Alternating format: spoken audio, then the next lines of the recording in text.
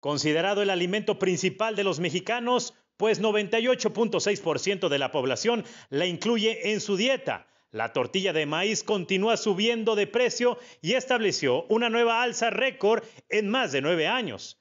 Para nosotros sí estamos bien en la economía. Se tiene que reflejar en el precio de la tortilla y en el salario mínimo. Así lo señaló el presidente Andrés Manuel López Obrador en pasados días.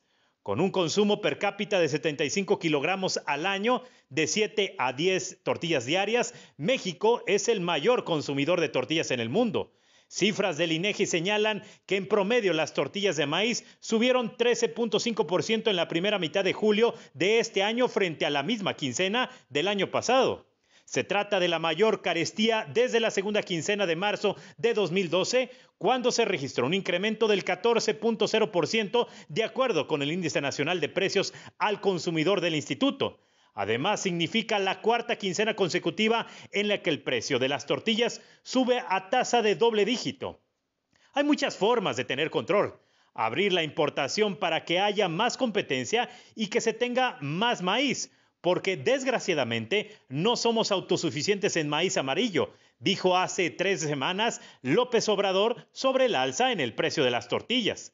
México compró un récord de 8.996.000 toneladas de maíz en la primera mitad del año, 16.4% más que las 7.725.000 toneladas que el país adquirió en el mismo periodo del año pasado de acuerdo con información del Grupo Consultor de Mercados Agrícolas, señalando que el costo de estas importaciones se disparó a 2.473 millones de dólares y se significó un aumento del 83.6%. Hay un incremento en los costos de los granos en los mercados internacionales debido a la sequía que amenaza con obstaculizar el desarrollo de cultivos en el Medio Oriente y Medio Oeste de Estados Unidos, mientras la demanda mundial se incrementa. Las tortillas más caras se pueden encontrar en Hermosillo, Sonora, donde el precio promedio fue de 21,32 pesos por kilo entre el 14 y el 20 de julio, aunque llegaron a costar hasta 27 pesos, indicaban datos de la Profeco. En la Ciudad de México se vendieron en 14 pesos con 47 centavos y llegaron a comercializarse hasta en 20 pesos, mientras que en Guadalajara, Jalisco, costaron en promedio 16 pesos con 53 centavos y que también tocaron un máximo de 20 pesos.